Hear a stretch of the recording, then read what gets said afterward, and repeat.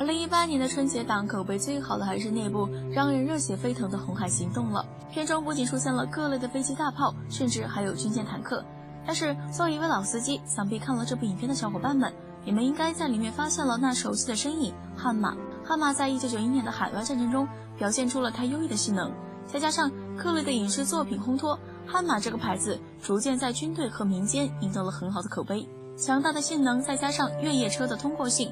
它那经典的外形也变成了各大车企争相模仿的对象。《红海行动》这么一部军旅题材大片，自然不能少了它身影。在影片的一开头。特战队员们就是乘坐着悍马驶入交战区，一排整齐悍马车队载着我们国家的特战队员在战区穿行。特战队员在刚猛霸气悍马车衬托下，显得更加让人热血沸腾。其实悍马也曾经出现在民用的舞台上，也发布过民用型号。可是后来悍马由于各类的原因，宣布停产民用车了。无论以后悍马是否还会归来，但是我相信它给我们带来的印象是不可磨灭的。